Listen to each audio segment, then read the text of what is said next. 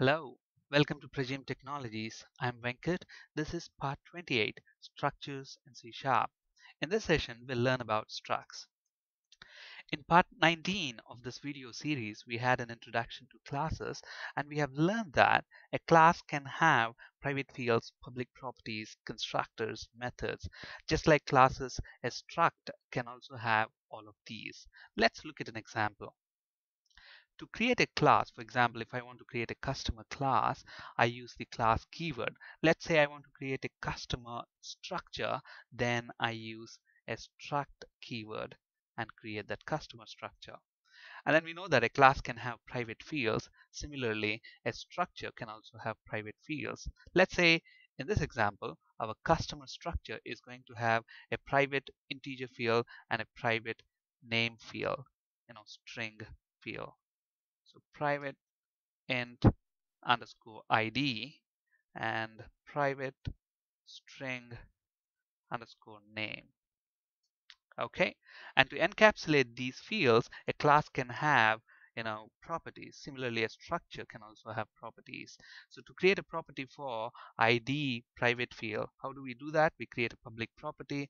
Since id is an integer field the property needs to be an integer and the name of the property may be id and then a get accessor which will just return this dot underscore id and we need to have a set accessor as well which will set the value for id field. So this underscore id is equal to value Okay, so that's the um, property for the ID field. Now, similarly, we need to create a property for the name field. And to do that, we don't have to actually type. We can use the refactoring capabilities of Visual Studio.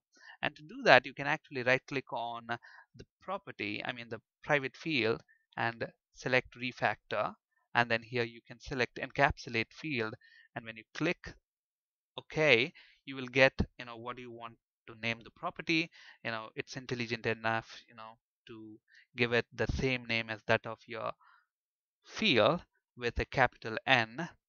And when you click OK that's going to give you a preview of how your property is going to look like. So your property is going to look like has not generated it's going to generate that for us. So apply and it has generated that property for us. So this property implements this field and this property implements, I mean encapsulates this field. Okay, so our structure now has got private fields and public properties. So a class can also have a constructor to initialize the class fields. Similarly, a structure also can have a constructor to initialize this structure fields okay? So and we know that a class constructor will have the same name as that of a class okay? Similarly a structure constructor will have the same name as that of the structure. So public and we know that a constructor cannot have a return type. So public customer and we pass in two parameters into this constructor which can be used to initialize these two private fields. So int maybe id and string name so we use those two parameters to initialize the private fields of the structure. So this dot underscore id is equal to id, the parameter that is coming in. And similarly, this dot underscore name is equal to the name parameter that's coming into our constructor. Okay. And just like, eh, you know, just like how classes can have methods, our structures also can have methods. And let's say I want a method in the structure which can print the customer details you know I want this method to be able to print the ID and the name of this customer. So to do that let's create a public method public void and let's call this print details. And what is this method going to do? It's going to print the customer ID and the name. So console.writeLine ID is equal to a placeholder and name is equal to another placeholder. So in the first placeholder, I want to replace that with an ID and maybe the second placeholder I want to replace that with a name. Okay, that's it. We have created our structure. Now, if you look at this, it's actually very, very similar to a class. The only difference that you can spot here is that we are using a struct keyword instead of a class keyword. If it was a class keyword, then it would have been a customer class. Since it's a struct keyword, then this is a st customer structure. Now let's see how to use this structure. Now to create an instance of a class, let's say for example I have customer class. To create an instance of this customer class, I will say customer C1 is equal to new customer. And to create an instance of a structure, you follow the exact same syntax. So we have a customer structure here. And to create an instance of that, I say customer C1 is equal to new customer. So here we are creating an instance of a structure. And look at this, we have a constructor for this structure which takes in two parameters and we use those parameters to initialize these two structure private fields. So let's say my customer's ID is going to be 101 and name is going to be Mark. So we initialize the structure and if I want to print the details of this customer I will just say C1 print details and if we go ahead and run this it should print the ID and the name of our customer. Now in C Sharp 3.0 you know they have introduced a new syntax to actually create an instance of your class and it's called object initializer syntax actually you know this is one way to create your customer um, object another way is we can say customer c2 is equal to new customer and we are using the default constructor. Now when I say c2 dot print details, look at what's going to happen. When I run this, C2 customer ID is 0 and name is empty because why? We have not initialized this customer fields. So let's go ahead and initialize them.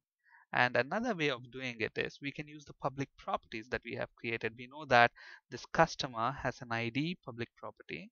So let's say 102 and similarly it has got a name property and maybe I want to initialize this to John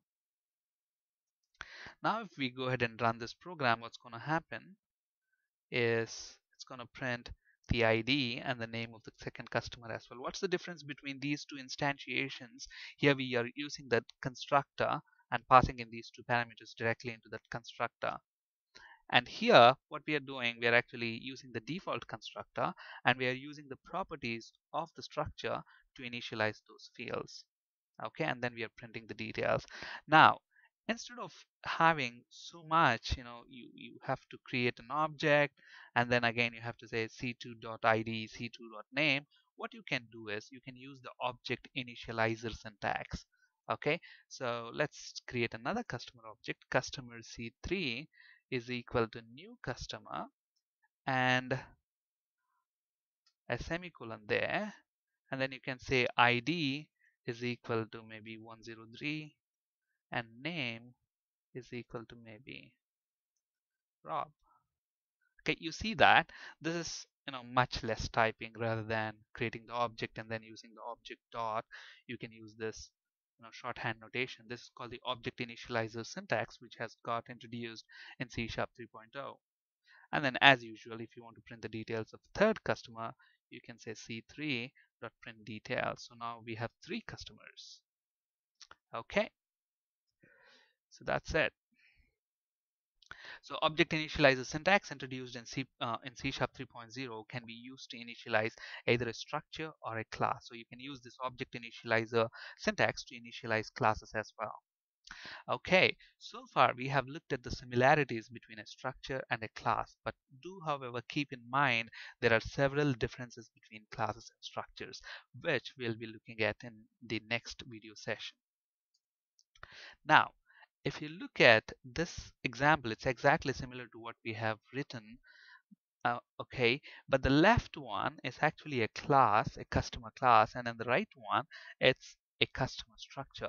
Now, if you look at the code on the left to, and compare the left to the right, the only difference that you'll spot is that here you're using the class keyword on the left hand side and on the right hand side you are using the struct keyword. Other than that, the code is exactly similar. Okay? But however as i told you there are several differences it's very very important to know the differences between structure and classes which we'll be looking at in our next video session. That's it for today. Thank you for listening. Have a great day